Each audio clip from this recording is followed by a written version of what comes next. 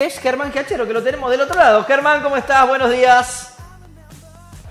Hola Martín, hola Dani, ¿cómo están ustedes? Eso será un tema difícil de arreglar, ¿eh? vamos a ver cómo podemos arreglar, Daniel, porque bueno, no, no, no, no es tan fácil, no es tan simple. ¿eh? No, aparte sí lo, lo, puede hacer. ¿Lo puede hacer? Sí, ¿Lo puede hacer, lo puede hacer no sé si se ha notado que los viernes en las notas del Noti hay como un salto de, de calidad. De calidad. Eh, yo creo que lo está pasando por encima Pablo Paredes. Yo la verdad que, no sé si se acuerda, le metí la nota del, del hotel rodante, de, la, de, los discos que se venden más los vinilos. Me gusta. ¿Qué es que lo, lo, diga el conductor, no, no lo voy a decir yo. Que lo diga el conductor, a ver. Usted, usted va, va más por las notas de color, por esas notas curiosas, que me parecen muy interesantes, a mí yo estoy muy de acuerdo. Pero, no sé, estoy, estoy esperando el salto todavía, no llegamos a la calidad, estoy esperando el salto. Después veremos la calidad y demás, pero bueno. Bueno, le pedimos a Nachito si puede subir un poquito el volumen de aquí del estudio porque lo escuchamos realmente bajito a, a Germán. Bueno, Germán, eh, buenos días, gracias por estar con nosotros. Estamos en la columna del regional, en este caso, como todos los jueves, con distintos temas para, para tratar. C20N es esta noche, a, a partir de las 20, ¿no? Por supuesto, esta noche a las 20, como siempre, Canal 20 Noticias con toda la información. Y bueno, gracias por, por el recibimiento de siempre. Lo único que yo hace un, un tiempo bastante largo estoy compartiendo eh, primero con eh, Mañana de 20, luego con modo directo y no tengo presentación todavía. Eh, Rodríguez hace dos meses que está y ya tiene presentación, sí. corte, quebrada, no sé, una cosa increíble. Tiene que hablar con Julián. ¿Cómo está la posición de este hombre? Es, es no, increíble, no, no. Yo, yo me asombro. Eh, a ver, con Julián hemos pegado onda porque somos millennials, ¿viste? Hablamos todo diciendo Tuki, Esquere y esas cosas. Hacemos Twitch, entonces llegamos a. ¿Está moderno usted? Pegue onda con los millennials. Mira sí, vos, pero, sí. pero, usted es un hombre de, de, las letras, del diario, de la SADE. Sin embargo, ¿le gusta lo nuevo? Pero también? me di cuenta que no se monetizaba nada de todo eso. Me, me di cuenta claro, que sí. cuando presentaba un libro, mi mamá iba nomás. Hay que ir por otro lado. En, en, un momento que lo cuenta Roganti, sí. aproveché cuando presentó un libro Luis Luján que ve mucha gente, digo, ¿lo puedo presentar con vos, Luis, el mío? Claro, dos por uno. Entonces aproveché ahí la gente de Luján para, para, para hacerme cargo de ella. Más o menos como hizo Riquelme con Maxi Rodríguez, que le va a usar al, más o menos los mismos jugadores que van a estar en el homenaje del Rosarino, eh, en el homenaje a Riquelme también. Viste que hubo una volada ahí, un aprovechamiento. Sí, Maxi Rodríguez lo dijo medio, medio en joda, pero eh, fue en serio el dardo ese. Me, me parece que Riquelme aprovechó para decir, yo tengo amigos también. eh, que, para el que no sabe, alguien me quiere, dijo Riquelme, sí. y se prendió al, sí. a la despedida de Maxi. No, no quiero hizo, meter... hizo, hizo, la gran Laucha Rodríguez ahí, me parece. Claro, vos pensás decir, che, los amigos de Riquelme, ¿quién? Claro. claro. claro. ¿Quién es mi amigo de Riquelme? Un partido de truco. No, no, que te lo chequen. Ay, Dios. Bueno, nos ponemos serio, bueno, ¿le parece? Sí, nos ponemos serio. Arrancamos la columna del regional.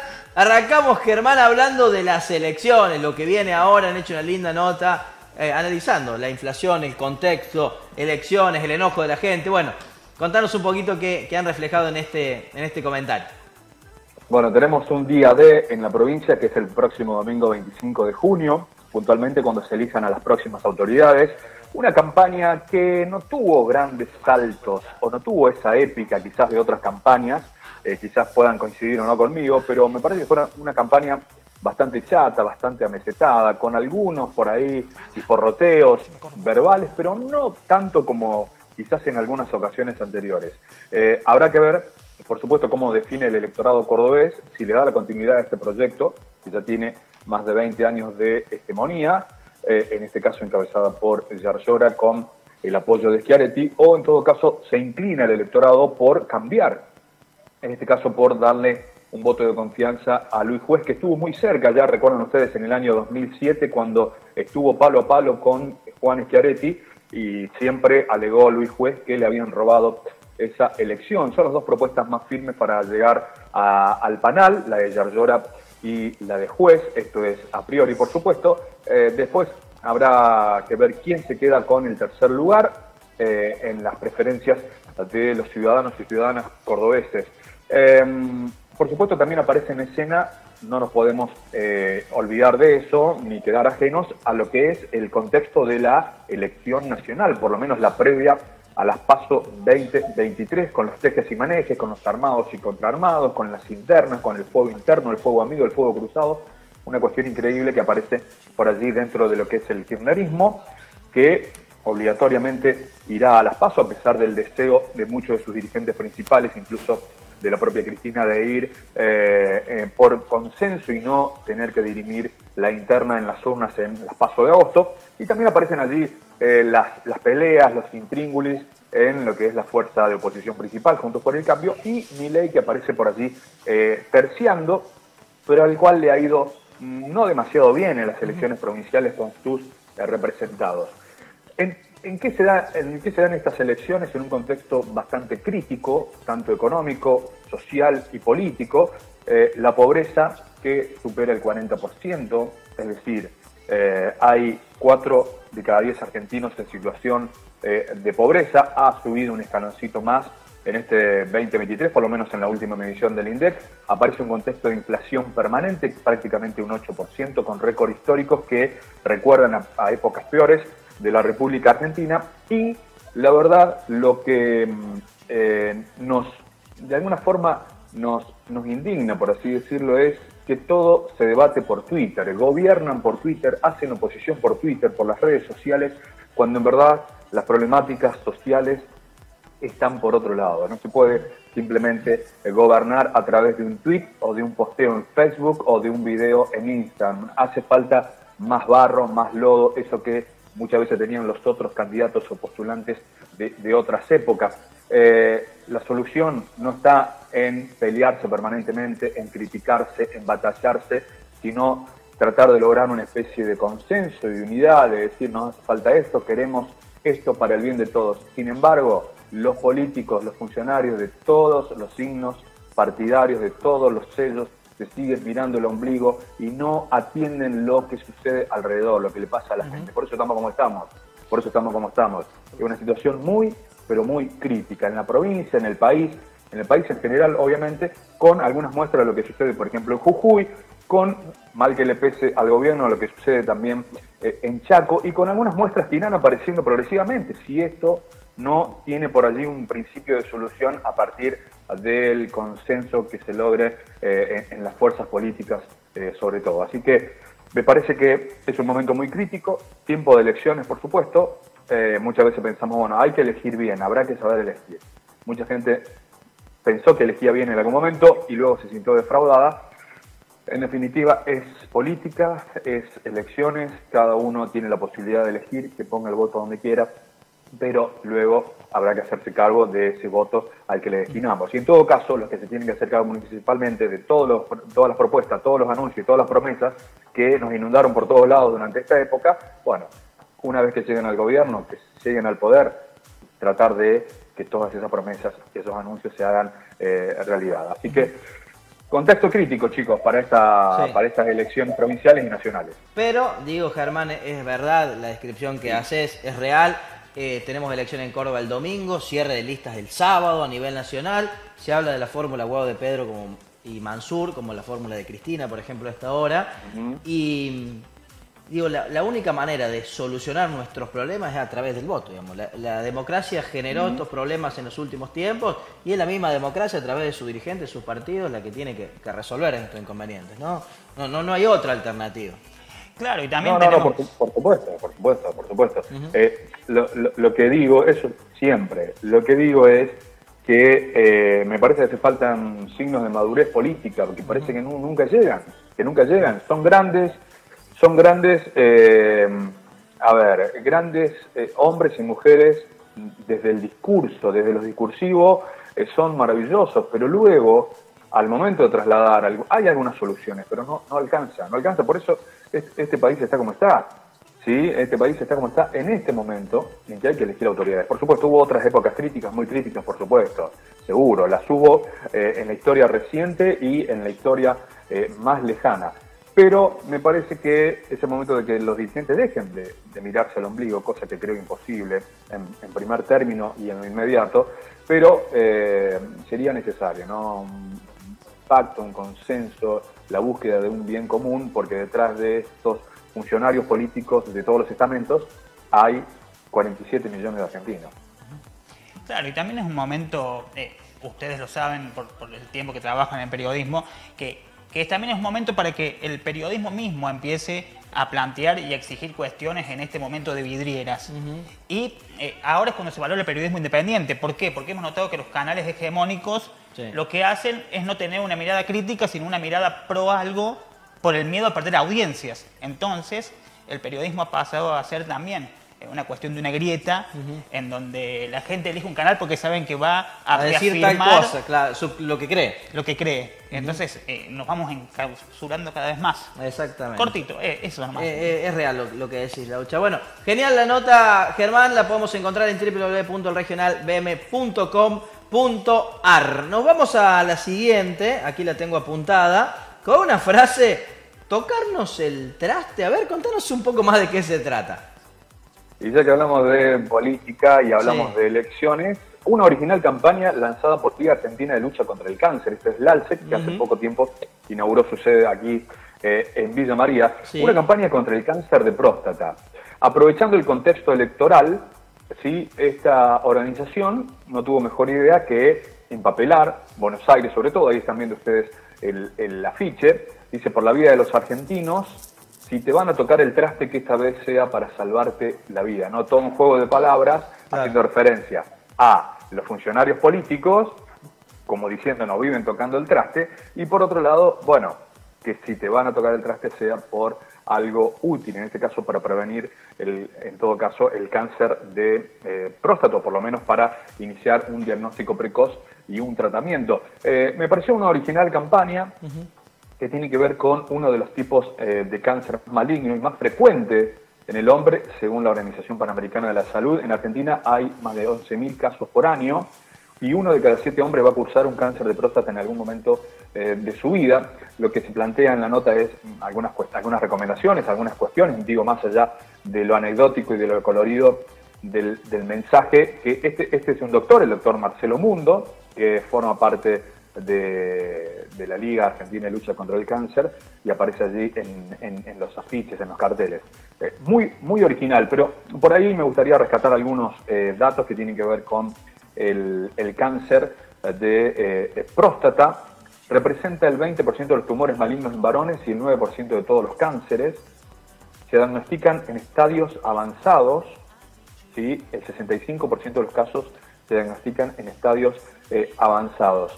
Eh, y bueno, aparecen algunas estadísticas vinculadas con, por ejemplo, las provincias que tienen mayor incidencia, como Tierra del Fuego, Misiones, Corrientes, otras de menor incidencia, Santiago del Estero, La Rioja, Cava y La Pampa, dice el doctor eh, Mundo, que es el protagonista de estos carteles, no se puede hacer prevención primaria, pero sí prevención secundaria, es decir, un diagnóstico eh, precoz. Y obviamente uno de los métodos para hacerlo es eso tan temido por por los varones, por los hombres, ¿no? De eso que tanto se comenta. Después de los 50 tenés que hacerte el, estudio este de la, próstata, ¿no? Donde te van a tocar el traste, ¿sí? Eh, y no es ninguna metáfora como en este caso en, los carteles eh, electorales. Así que una muy, me parece una muy, pero muy buena campaña que usa este contexto electoral para eh, tratar de generar conciencia respecto del cuidado de la salud en general y sobre el cáncer de próstata en particular en los hombres. Exactamente. La publicidad, digo, bien utilizada, ¿no?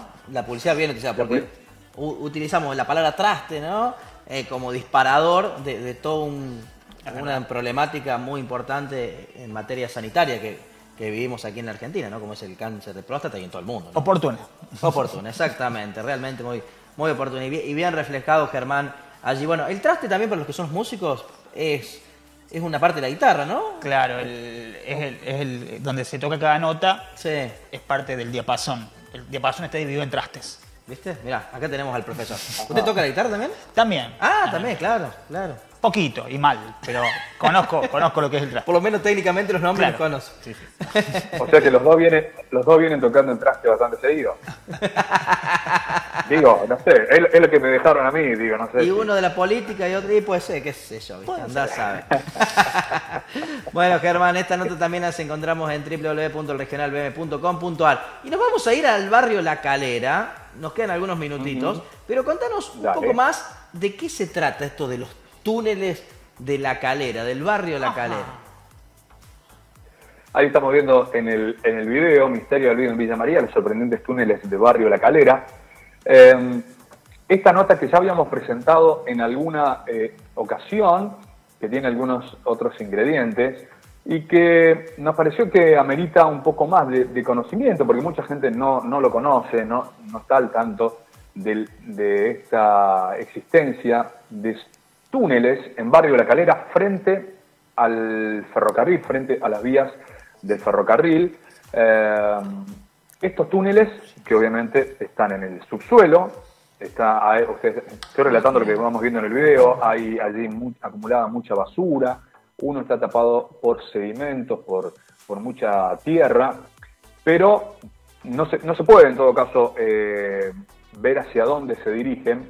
Sí hay una presunción, porque allí antiguamente funcionaba, y es lo que le da el nombre al barrio, una fábrica de cal, la calera, y esos túneles habrían servido para transportar, por ejemplo, leña, ¿sí? al servicio de la fabricación eh, de la cal y para, eh, en todo caso, sacar de ese lugar eh, algunos de los productos hacia los vagones, hacia los trenes que pasaban por ese sector.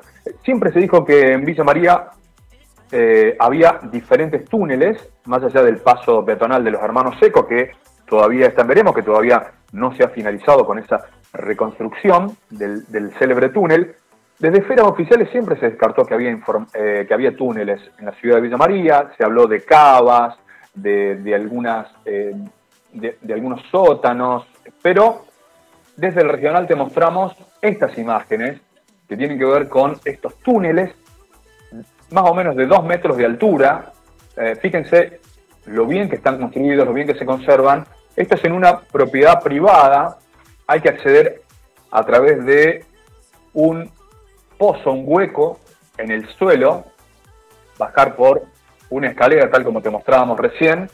Eh, repito, esto está en un terreno de una propiedad privada, allí en barrio La Calera, ahí está la escalera por la que se accede a esos, a esos túneles y realmente nos llama la atención y nos gustaría que en todo caso eh, desde el municipio eh, estuvieran en contacto con el propietario de este lugar para ver a dónde conducen o para qué servían o para qué se utilizaban estos eh, túneles. Nosotros te los mostramos, después el, del resto se encargarán las autoridades en todo caso para tratar de dilucidar cuál era el destino, cuál era la finalidad y qué es lo que ha pasado así con estos túneles que están en Villa María, que existen y que allí hace 115 años se desarrollaban trabajos con cal, fabricación de cal, una calera muy famosa que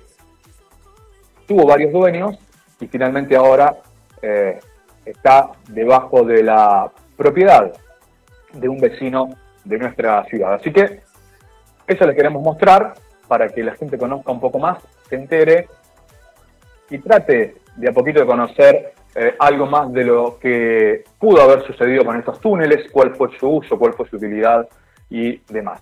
Esto lo encontrás, por supuesto, en el regionalbm.com.ar y en nuestras redes sociales, arroba el regionalbm, los videos, las imágenes y las fotos. Eh, la verdad, nos parece eh, una nota bastante importante y trascendente en lo que tiene que ver con la historia de la ciudad, chicos. Conocí esos túneles, y claramente tiene un valor histórico muy importante, Daniel, ¿no? Sí, y tal vez respondería a por qué es Barrio La Calera, ¿no? Claro, el nombre directamente. Una, una obviedad lo que estoy diciendo. Sí, sí. Pero es bueno mencionarlo, Germán.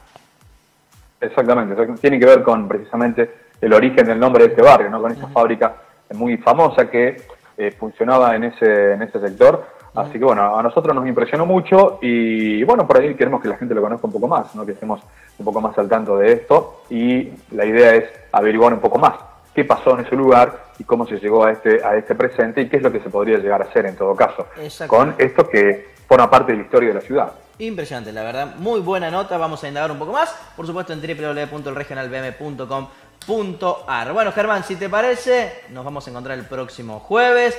Gracias, como siempre, por, por, la columna, gracias por los temas que siempre analizamos.